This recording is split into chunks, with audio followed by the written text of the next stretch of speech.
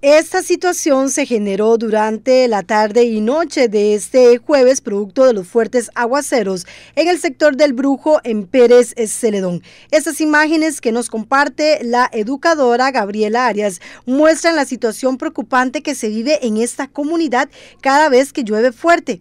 Y es que la preocupación es mayor, pues este viernes amanecieron con problemas en la vía, específicamente en el camino que une al llano con el brujo. Prácticamente, según informaba esta docente, ya ni el bus de estudiantes puede pasar.